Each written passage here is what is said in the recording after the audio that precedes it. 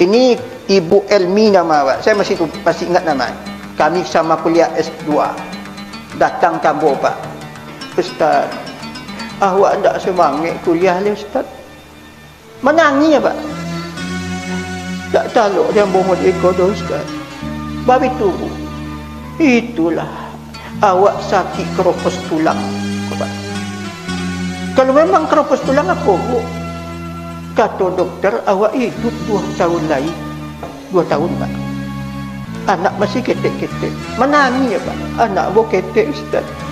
Iko kau tak pernah mau ceritakan ke suami.